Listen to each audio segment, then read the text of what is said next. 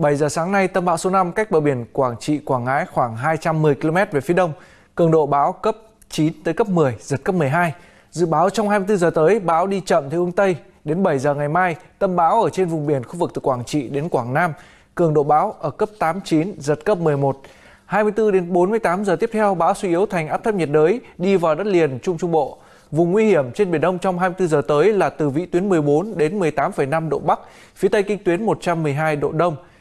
Từ ngày hôm nay, vùng biển khu vực từ Quảng Trị đến Quảng Nam gió mạnh dần lên cấp 6, 7. Vùng gần tâm bão cấp 8, giật cấp 10. Khu vực sâu trong đất liền có gió giật cấp 7, 8. Từ nay đến ngày 13 tháng 9, ở Quảng Trị đến Quảng Nam có mưa to đến rất to. Từ mai đến 14 tháng 9, từ Quảng Bình đến Thanh Hóa có mưa vừa mưa to, có nơi mưa rất to.